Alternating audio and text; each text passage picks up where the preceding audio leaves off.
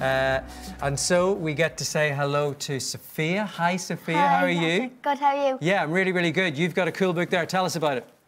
It's called Millie McCarthy and the Irish Dancing Disaster, and you're actually in it. There's a picture of you. There's a picture of me in Yeah. that. Am I the disaster? No. No. There's a real good chance. So tell us what happens in the book.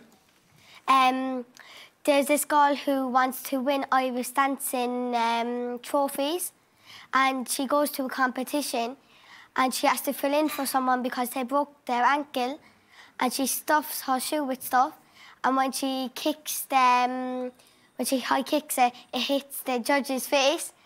And when she goes down to say sorry, she puts the wig next to the candle that's full of hairspray, and it catches fire.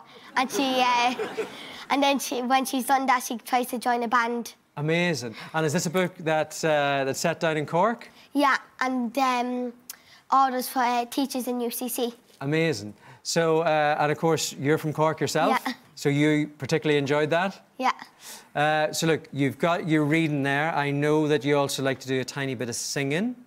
What Yeah. type of singing do you do? rapping at the Cammy like Studio. rapping, okay. So would we like to kind of just effortlessly segue between a bit of WB Yeats and a bit of yo-yo? Here we go, okay, take it away. This is Sophia with the rap. Down the street ain't that sombrero. People look at me like I'm a weirdo. I do what I want cause I'm a hero. Walking round cocking that sombrero. Pull my head up high and let my face rip. Wait, I can get back in cause I'm the best. I am basic cause I'm deep. My some.